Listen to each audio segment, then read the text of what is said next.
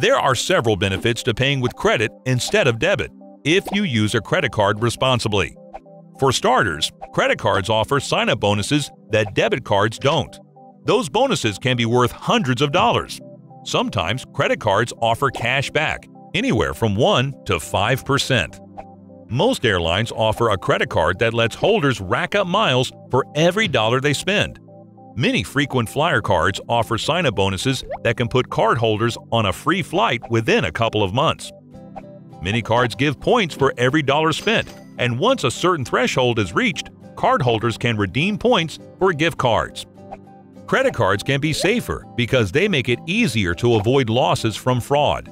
If your debit card is used fraudulently, the money disappears from your account right away. If someone illegally uses your credit card, you can notify the company and resolve the matter. Credit card purchases don't remove money from your bank account until you pay your monthly bill. Debit card charges immediately deduct your money. So, using a credit card lets you hold on to your money longer, potentially earning interest. It also spares you the headache of worrying about your balance with each charge. Most credit cards come with insurance for things like travel and product warranties. Some items are tough to buy with a debit card.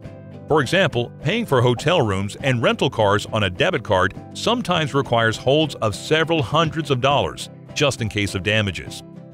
And using a credit card responsibly can improve your credit score. Debit cards don't appear on a credit report.